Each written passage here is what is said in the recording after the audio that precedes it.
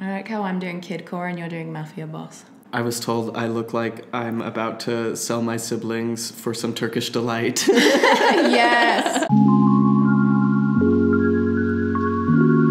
Hi, and welcome to Zelph on the Shelf. I'm Tanner. And I'm Sam. Apparently, introducing ourselves is an important part of YouTube culture. It's a something new thing we've been doing. uh, Someone commented saying they watched 10 of our videos before they knew Tanner's name, so which we can't have. I like to be like that, just sort of an, an anonymous entity Mm-hmm. floating around the internet. I'm actually a little bit warm, so Oh, Now- the um, waistcoat comes out. pirate core. I do it all. So we've got a fun video today. Well, it's a mix of fun and horrifying, but I think we're going to have some fun and we're also going to be disturbed. it's worse than I thought. There's there's more stuff out there than I realized, and uh, just can't wait to share it with all of you today. Yeehaw! Can't wait to unpack all of this. so we're going to be talking about four things. Is there anything else we need to plug before we get into the video? Buy our candle. It smells so good. It's that time of year. Will make you so cozy and happy, like it makes me so cozy and happy every single day. It's banana nut bread and coconut. It's a soy wax, and the company uses zero plastic in their packaging. We also have merch now. Thank you for those of you who have bought some. And other than that, support us on Patreon. Thank you to our patrons for being here. First thing that has been banned in Mormon bedrooms birth control, Oh, of course. of course. So basically, ever since right, the beginning, presumably not with Joseph Smith, because Joseph Smith was realistically using versions of birth control to hide the fact that he was doing polygamy while telling everyone that he was definitely not doing polygamy. I love I love how Mormons are like he couldn't have done this because the only way to have sex is penetrative uh, child making sex. There's no other form, and it's like oh honey, this video is for you. This is for you guys. And abortion was a thing that was practiced in that area. By uh, John C. Bennett, his buddy. Yeah. Also, it was really interesting watching The Vow season two. If you haven't watched The Vow seasons one and two, highly recommend. Fascinating cult documentary. Um, but that just the similarities between Keith Raniere and Joseph Smith, like having sex with like mother-daughter pairs or two siblings, getting them to have abortions secretly, and having the recruiter wife be the one that takes them to the abortion. All very interesting. Anyway, as early as Brigham Young, we have endless quotes of church leaders saying that birth control is bad. I grew up. I remember in high school talking with friends and being like, "Oh, I will never use birth control. I'll Mm-hmm. just have children." Well, I remember when I was doing Institute in 2014, it must have been, the manual was anti birth control. There was a birth control section, it was all just quotes from prophets, like these ones I'm reading today, about how birth control is bad. So Brigham Young said to check the, inc- and this is in the Journal of Discourses, by the way, church approved source.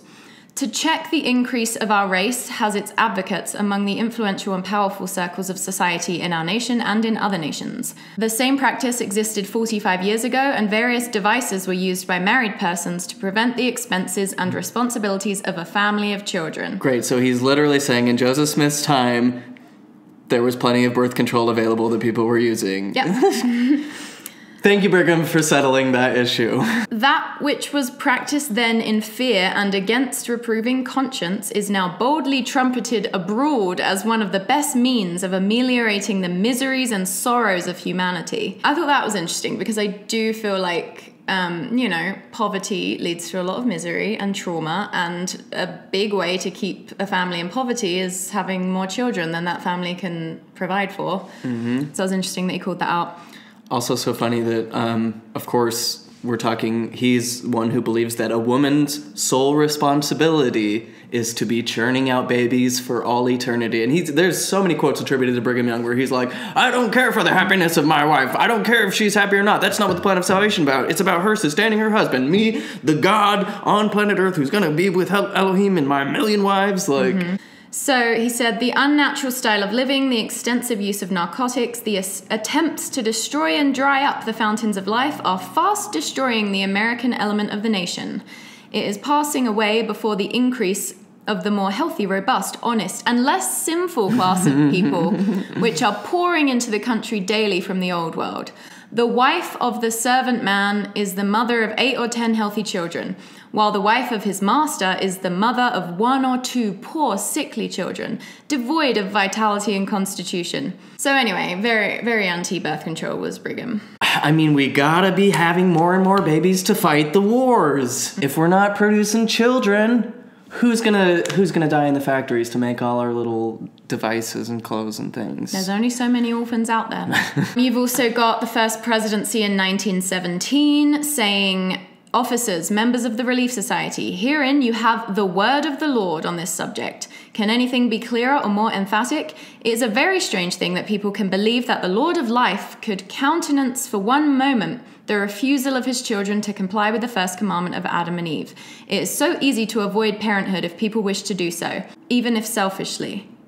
Men and women can remain unmarried. That's all there is to it. So it's basically saying if you don't want kids, don't get married. But then they were also teaching that you're a menace to society if you didn't get married. So it's really not that simple. He's like, that's all there is to it. You'll just be a social outcast and. I love any time the Bible is brought up in regards to relationships, orientation, gender. It's like, oh, thank you for citing this book of mythology that teaches that a woman was created from the rib of a man. That's very informative about the nature of the world that we exist in.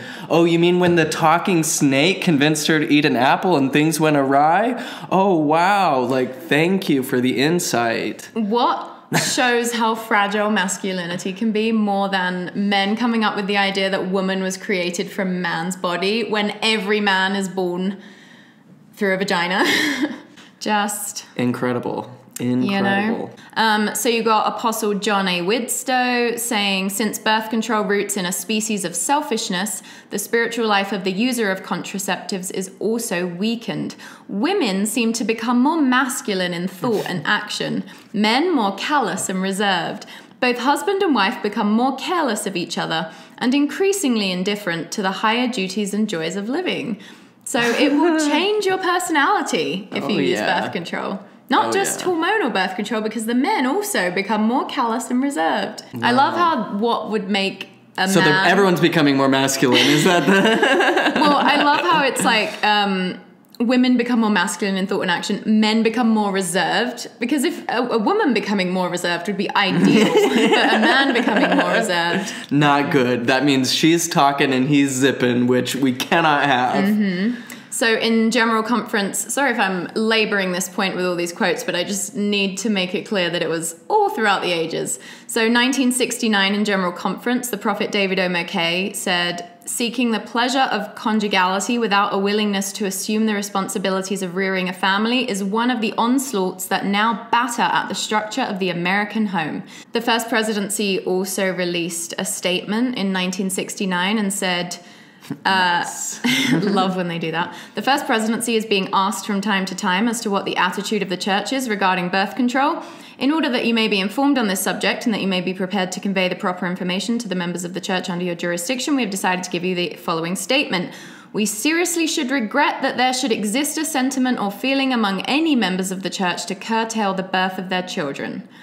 We have been commanded to multiply and replenish the earth, blah, blah, blah, blah, blah, blah, blah. We believe that those who practice birth control will reap disappointment by and by.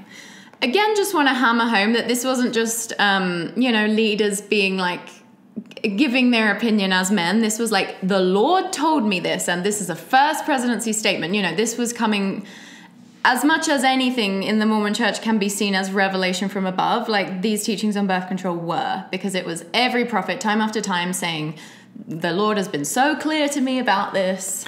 And so wild how they'll actively teach that you should have kids even if you can't afford it, even if you can't provide. Mm-hmm. They would teach us that all the time at BYU them. Idaho. Oh, yeah. Little 20, 21 year old students, even like 18, 19 year old wives at BYU Idaho are being told, don't, there's no reason to not have children. And then, even if you can't afford them, you should have them. Mm-hmm. And even if you can't feed them, you should pay tithing.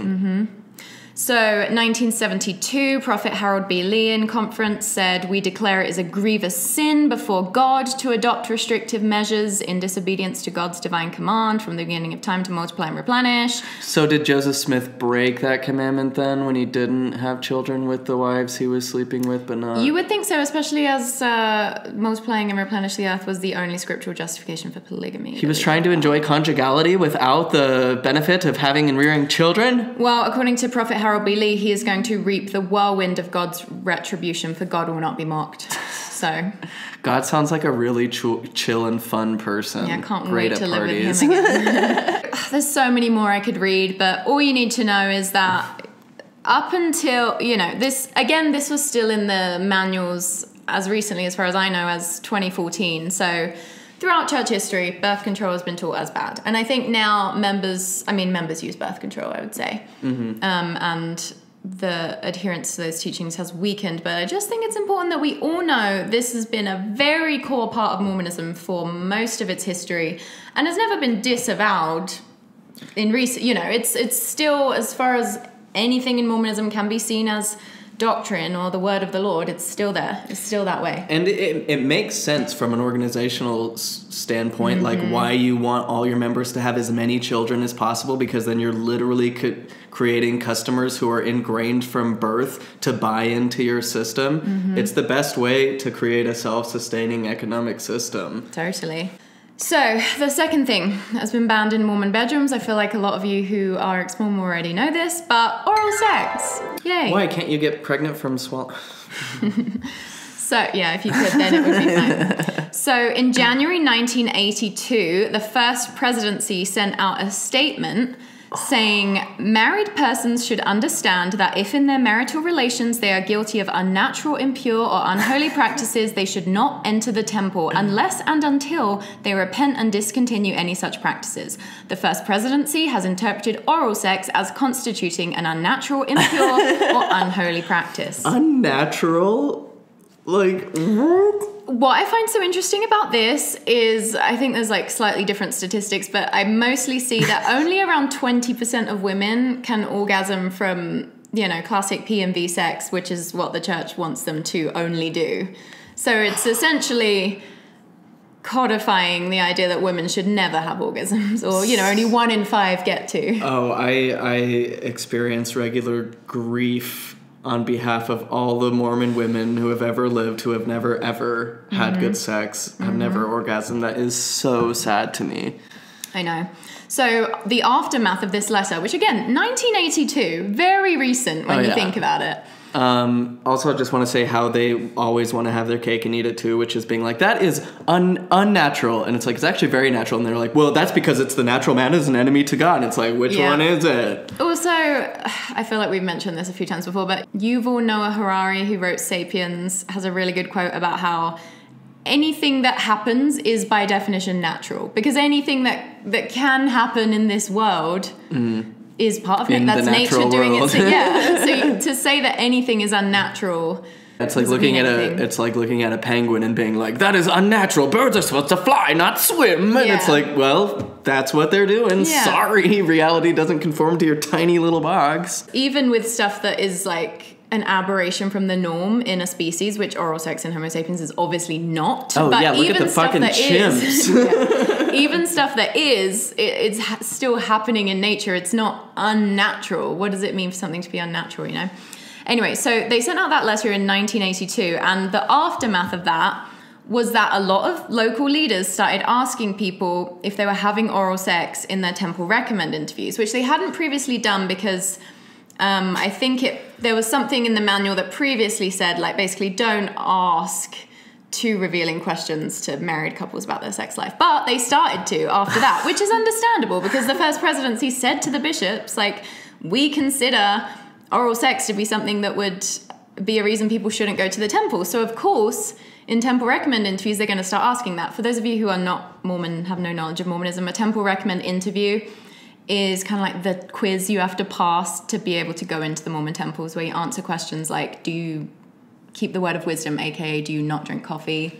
And you have to go through the temple in order to receive all the benefits of membership in this life and to be with your eternal family exalted with Christ in Mm-hmm. Get the to heaven, hereafter. basically, yeah. Or to like attend a wedding in Mormonism. Yeah. yeah. This is so. This is just. This is one of those things that people who aren't raised, who aren't indoctrinated from a child to see this as normal, are like, like what the fuck? Mm-hmm. Like I'm not in a cult. I just meet with a man who asks me if I have oral sex to make sure that With I'm my worthy to. husband. the first presidency also started getting a bunch of letters from members asking why they were getting involved in what goes on in their married bedrooms, which Good question. Thank God that happened. Nine months after that letter was sent out, the first presidency sent out another letter to local leaders, re emphasizing that they should never inquire into personal, intimate matters involving marital relations between a man and his wife. They also said if in the course of such interviews a member asks questions about the propriety of specific conduct, you should not pursue the matter, but should merely suggest that if the member has enough anxiety about it to ask, the best course would be to discontinue it. That's going to do really well in a population that is notorious for scrupulosity, isn't it? Get the bishops out of the bedroom. I know, what seriously. Um, so this is kind of another one of those things where you know the church puts out another statement to be like, okay, we can't keep receiving letters from members, you know, being mad at us for this. So just like keep it on the DL, but just know that it is still wrong. It is very bad. And that's never something that's been revoked. Again, this was something that came from the first presidency saying, like, the Lord believes that this is bad. This is an official. This is what Jesus Christ is speaking through his representatives on the earth today. Everything going on in the world, climate change, racial strife. God wants to make sure that people aren't having too good of a time with their married partners. This is wild. Yeah. Leave it to the God who uh, sends an angel with a flaming sword to intervene to make sure that a prophet will definitely have sex with a 14 year old, but can't intervene for children dying of cancer or children being sold into slavery. Those things are just not as high on God's priority And list.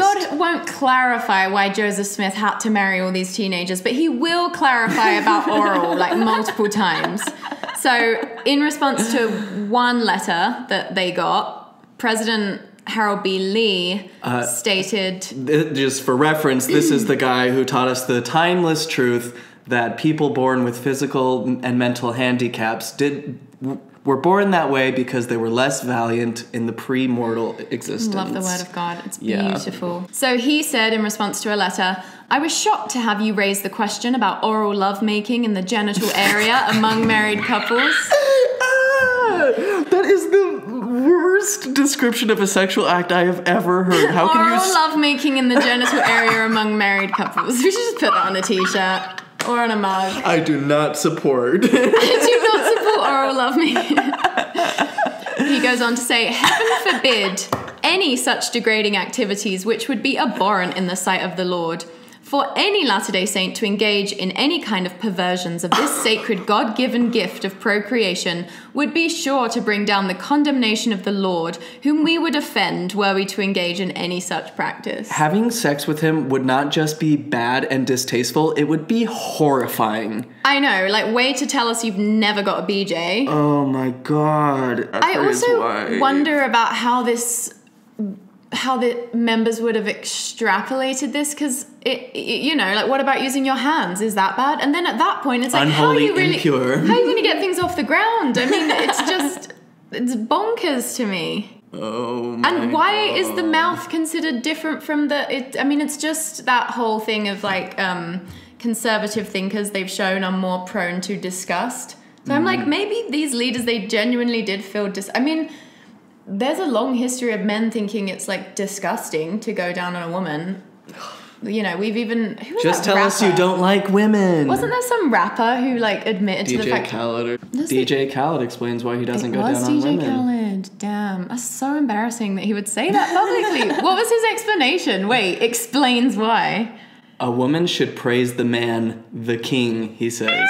If you holding it down for your woman, I feel like the woman should praise and a man should praise the queen. But you know, my way of praising is called, haha, how was dinner? You like the house you living in? You like all them clothes you're getting? I'm taking care of your family. I'm taking care of my family. You know, I'm putting in the work. You know, each to their own. And if he's if he just likes to if he has a worship kink where he's the one always being worshipped, fine. And if his partner's fine with that, fine, I guess. But to say women should be this way always, like everyone should do this. Why have people got to turn their things into things that everyone should do? I mean, the whole scheme of this thing, right, is to keep people trapped in vicious shame cycles. So they're hating themselves and hating the part of themselves that is experiencing these.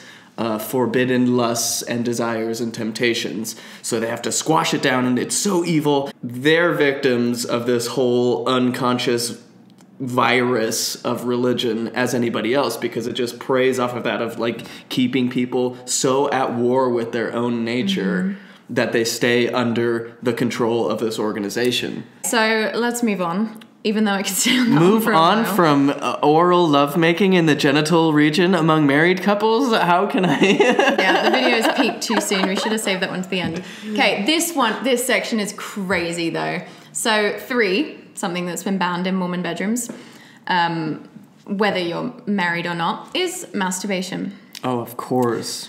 Such a pernicious evil of the ages. Yes, as Prophet Spencer W. Kimball said, prophets anciently and today condemn masturbation. When have prophets in did the prophets in the Bible talk about that? Uh, someone got in trouble for spilling their seed onto the ground and not into a woman Mm. Got it. who was Okay. probably their sister. the Bible is so full of incest. I anytime someone's like, "The Bible is the word, the authority on morality or relationships," I'm like, "You've never read the Bible because that shit is whack."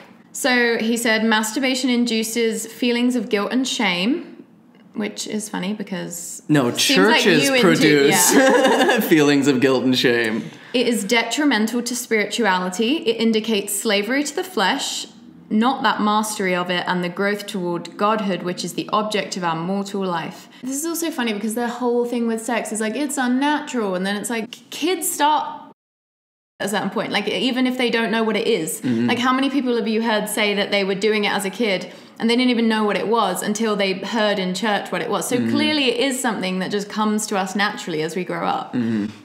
Anyway It has um, been observed in animals. Our modern prophet has indicated that no young man should be called on a mission who is not free from this practice. While we should not regard this weakness as the heinous sin which some other sexual practices are, it is of itself bad enough to require sincere repentance. What is more, it too often leads to grievous sin, even to that sin against nature, homosexuality. Done again. Animals are gay, so I don't see how it's against nature. But And you heard it here, folks. Wanking will turn you gay. Done in private, it often evolves into mutual masturbation, practiced with another person of the same sex, What- and what that mean, into bestie? total homosexuality. doing it alone leads to not be doing it alone. if you're doing it in private, you are by definition not doing it with somebody else. So this is where things get really wild. Spencer W. Kimball was also around this time giving a lot of advice to church leaders to help them, you know, get the young men, probably young women too, in their ward off the masturbation train. So he said, This self gratifying activity will cause one to lose his self respect and feel guilty and depressed. As a person feels spiritually unclean, he loses interest in prayer, blah, blah, blah. Be assured that you can be cured of your difficulty. Many have been, both male and female, and you can be also if you determine hmm. that it must be so. Determination is the first step. Really quick, he's just like, I'm observing that people who find pleasure start taking less interest in the church, but you can be cured of this. Yeah. by not experiencing any pleasure outside of the church mm. or inside in the way that your body was created in the way that you naturally orient toward other beings. This is so fucking twisted. This is from the guy and the religion that teaches that adultery or fornication, sexual sin, is next to murder. That having sex with someone you're not married to is almost as bad as killing them. That is so fucking crazy and twisted. It's about to get worse. He's giving this advice. He's saying, if you sincerely want to stop wanking, you'll be able to. It's just about being so sincere. And then he gives these guidelines that he thinks young men should follow when trying to stop wanking. One, never touch the intimate parts of your body except during normal toilet processes. That's the only exception he gives. He doesn't even mention the shower, which I found interesting. So it's not not not even once. It's only during normal toilet activities. Get that on a shirt. I only touch myself during normal toilet activities. I'm a recovering masturbator. That's like a shirt that only new name Noah would have the balls to wear. No one wish- else has the guts. No one else has the guts. Avoid being alone as much as possible. Find good company and stay in this good company. Unless they're people who you're attracted to, I assume. Two, if you are associated with other persons having this same problem, you must break off their friendship. Never associate with other people having the same weakness. I feel like you're gonna have a very small pool of friends if that's the case. no more hanging with the wank gang No more wanking Wednesdays. with the boys. Wednesdays are for the wanking boys. Don't suppose that two of you will quit together. You never will. I'm like, what has gone on in Spencer W. Kimball's past? Because the things he he he lays that is out so the, specific. he lays out the kinkiest scenarios as if they're mainstream. And I suppose I wasn't around in the 70s, but I just can't imagine it was as big of it. Like that doesn't seem like it was the main thing that was going This on. feels autobiographical. Do not try to quit wanking with your best friend, Kevin. you cannot overcome it together. You'll wank each other to death, to spiritual ruin.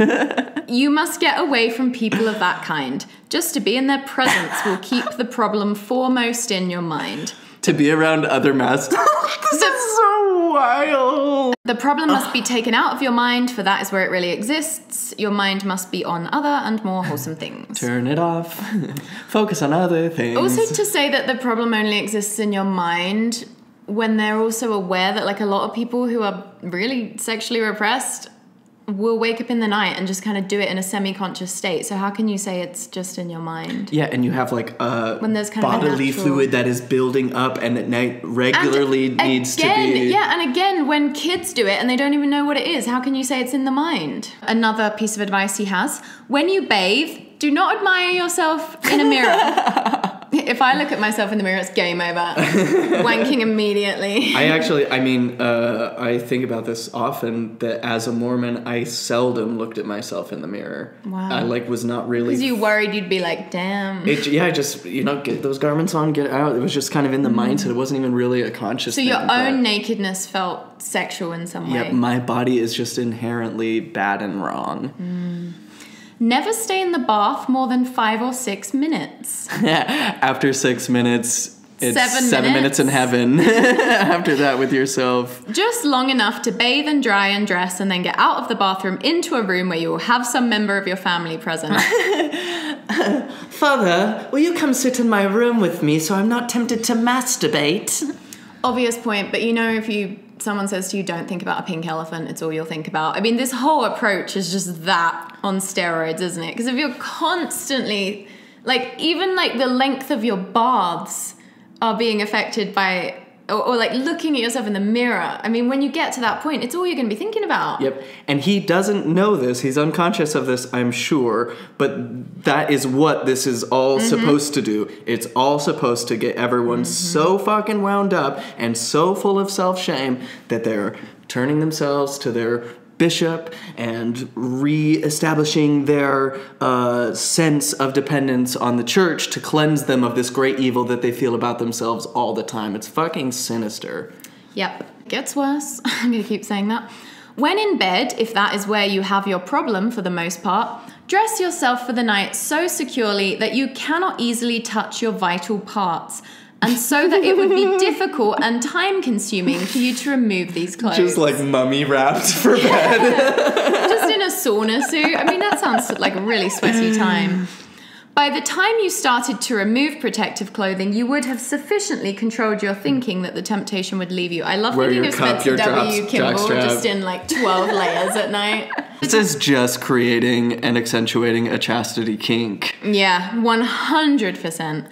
If the Trust temptation me, I know.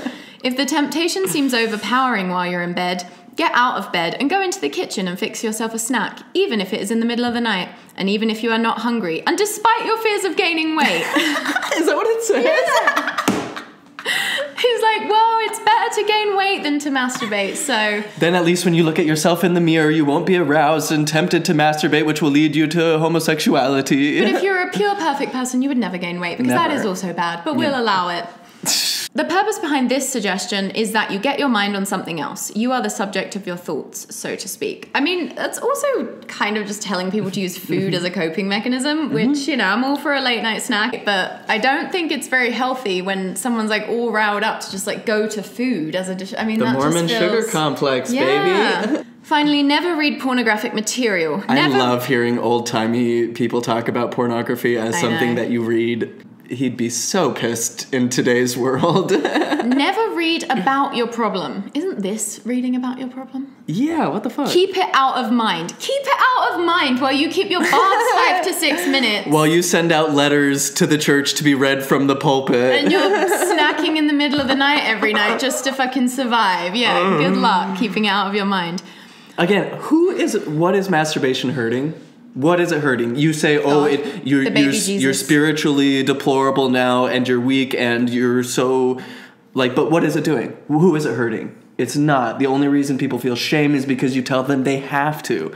Remember, first a thought, then an act. The thought pattern must be changed. You must not allow this problem to remain in your mind. Oh, easy, fucking Yep, easy. just relegate it to the realm of the unconscious so that it can pop up in dysfunctional ways when you're not paying attention. Great, awesome, cool. When you accomplish that, you soon will be free of the act. So, I mean, the classic Mormon thing of just contradictory advice, so that, as you said, everyone stays trapped in the shame cycle. Because this advice is probably the worst advice you can give if you want people to not jerk off. Because it's got it, they're obsessively thinking about it. Don't they're about it. obsessively worried that even looking in the mirror might cause it to happen. It's like when someone's like, "Don't come yet," and you're like, "Ah, ah, ah, ah, ah." Okay, I actually uh, should have said that earlier. Sorry, everyone, if this is annoying. It was actually Apostle Mark E. Petersen who gave all that advice, not Spencer W. Kimball. Oh, he's the one of uh, tying yourself to the bed fame. Yes, he wrote a guide called Overcoming Masturbation, a guide to self control, which isn't that reading about your problem? It sounds like it. So Mark goes on, he really dove into this topic.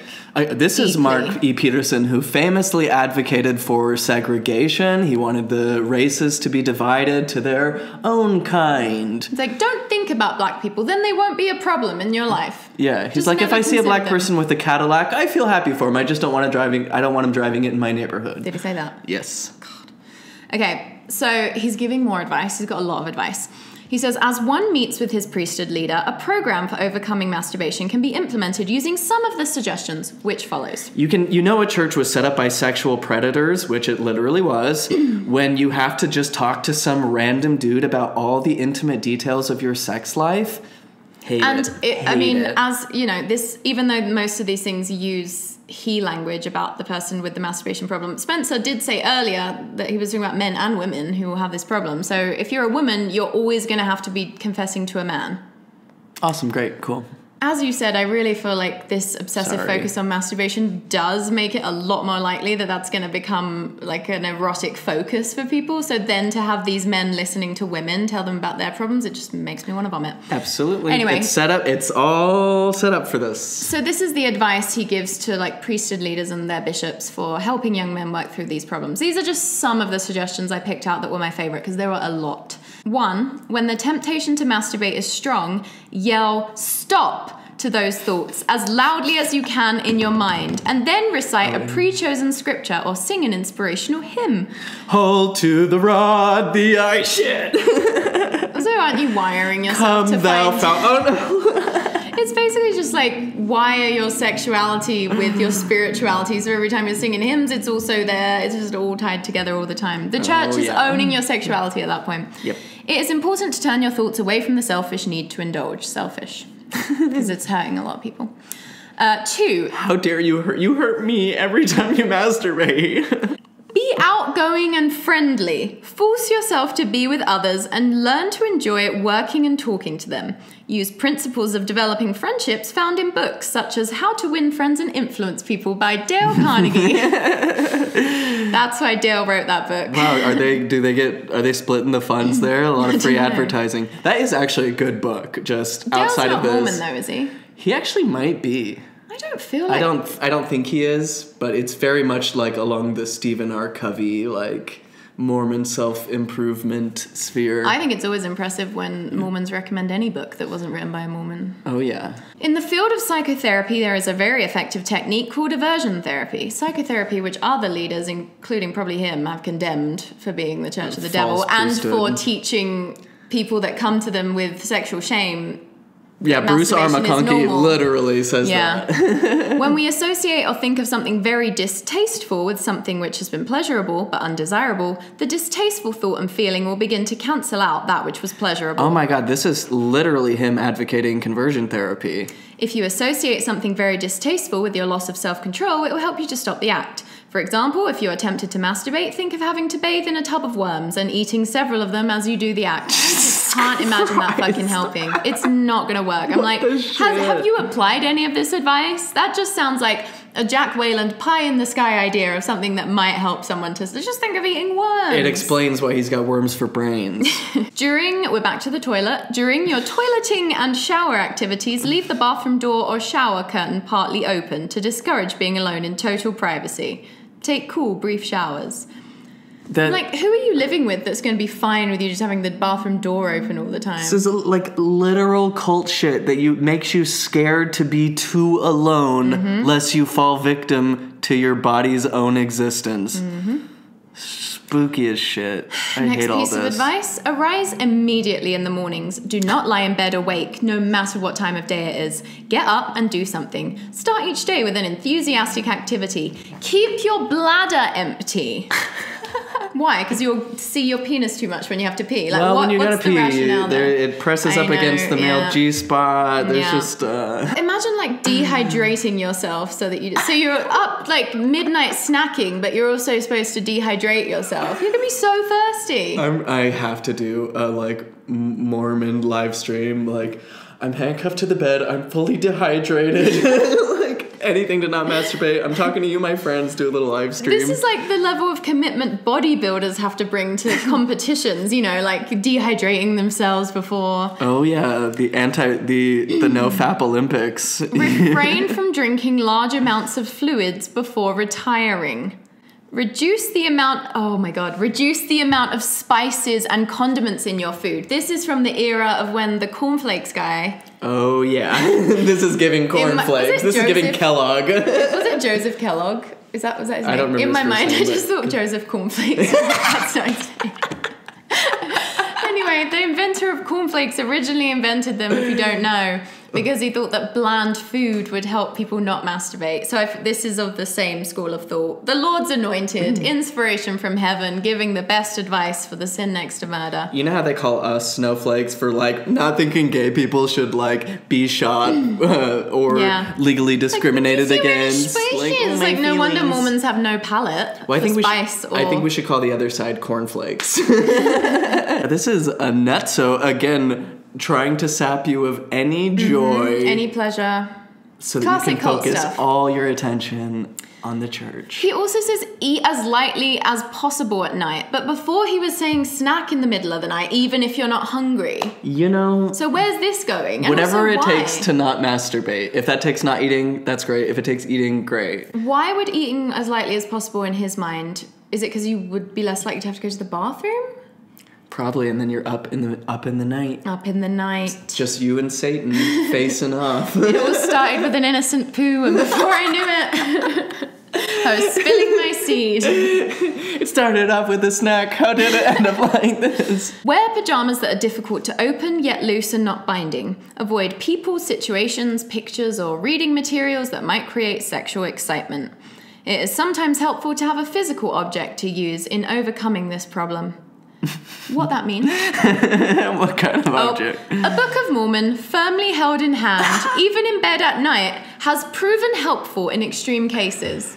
Oh my. So you're you're in your really tight 12 layers, you're starving, you're dehydrated, you're clutching your Book of Mormon. I keep All it. sounds I very keep healthy. my Book of Mormon open firmly on my genital lovemaking area. like, sorry, this is God's plan of happiness. Is this this? this god. in very severe cases, it may be necessary to tie a hand to the bed frame with a tie in order that the habit of masturbating in a semi sleep condition can be broken. Congrats, Mark. You just gave a whole generation a bondage kink. I'm gonna go tie myself to a bed after this. That's all there is to it. I'm gonna have the biggest meal, and it's gonna be so spicy.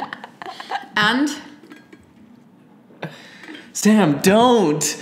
You might masturbate. Mormon women must be wanking up a storm because they all have Stanley cups and they are all hydrated and drinking swig all the time. Can you imagine? Is this why men from the 80s don't drink water? Probably. Hydration. That's petting.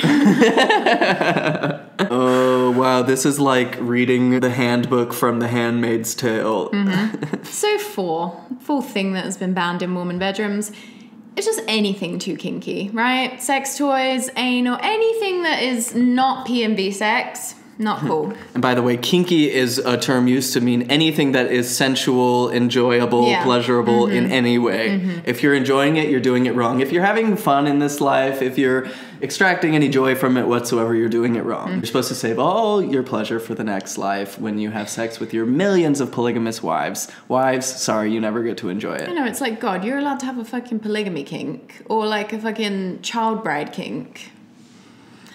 So in 1996, Boyd, K- I can't believe I've watched Boyd K. Packer talk at conference, like been in the room with him, with this guy, and, and soaked it up. Anyway, in 1996, I think I went to his funeral. Ew. It was either his, oh, maybe, no, it was Joseph B. Wirthlin that I went to. Never mind. So Boyd K. Packer I'm sure said he was an apostle at the time. I also I always love going through quotes like this because you just realize how like most of conference throughout time has just always been focused on the most bullshit stuff like this. There's never been anything real. It's always just been like the arbitrary made up things that keep people in the shame cycles. We never get on to anything Oh, real. no. Boyd says, "What if the person asking you to engage in something defiling is your husband whom you love?" A married couple may be tempted to introduce things into their relationship which are unworthy. Do not, as the scriptures warn, change the natural use into that which is against nature. If you do, the tempter will drive a wedge between you. Having enjoyable sex with your wife, that's going to drive a wedge between you. Yep, you will hate each other if you enjoy sex together. In 1986, Elder Spencer J. Condie wrote an article for the Ensign called Finding Marital Unity Through the Scriptures and said, Unfortunately, some married couples fail to realize that sexual experiences were never intended to, by the Lord to be a mere plaything or merely to satisfy passions and lusts. When couples engage in physical intimacy devoid of emotional and spiritual intimacy, or when they participate in unholy practices, what should be a spiritually bonding element in their marriage may actually become a disruptive force. I think it's interesting how he says if you have sex that is devoid of emotional intimacy, because I have such a hard time imagining these guys saying this shit being like emotionally connected lovers. Like Oh, I just no. can't imagine Absolutely it. I, I not. feel like they're just like pump and dump. It's she's just a toy for me, and then it's over, and we don't make eye contact. Like it's very hard to imagine it being like this beautiful And connecting she's just like, experience. my wifely duties, I'll think of Yeah. my grocery list until this is over in five seconds. In 2003, Elder Bruce C. Hafen said, "Please be 2003." Please be aware of unnatural sexual acts that are just as immoral, if not worse, than traditional fornication or adultery. Like what? What could be worse than this and next to murder? You're talking about murdering your spouse out of lust? President Spencer W. Kimball also said, There are some people who have said that behind the bedroom doors, anything goes. That is not true, and the Lord would not condone it. This is but coming- it's fine for fucking prophets to marry kids and then tell them to not tell their sisters about it because they're fucking them too.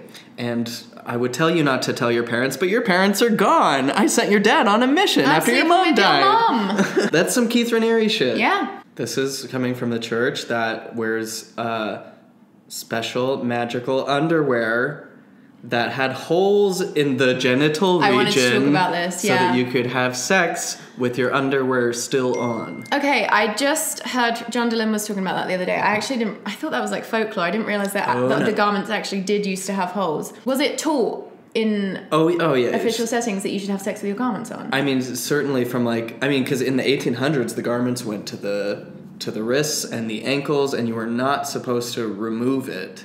Um, I I heard of people who would take showers holding their garments, No. so that there was never a point where it was not touching their skin.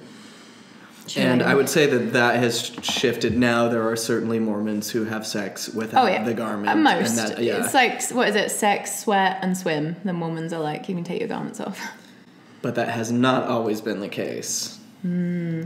Spooky, but not a cult. We're just a normal Not a religion that cult. loves Jesus. it's like in the Keith Raniere documentary, all of his supporters who still support him after finding out that he had sex with 15 year old, 12 year olds by other accounts, they, um, one of their arguments is like everyone wants to call us a sex cult, but it, it's not a sex cult. Like it was also a walking group, or like it was. we did so much self development, and they they're so outraged at the idea that the world would just reduce their group to sex cult.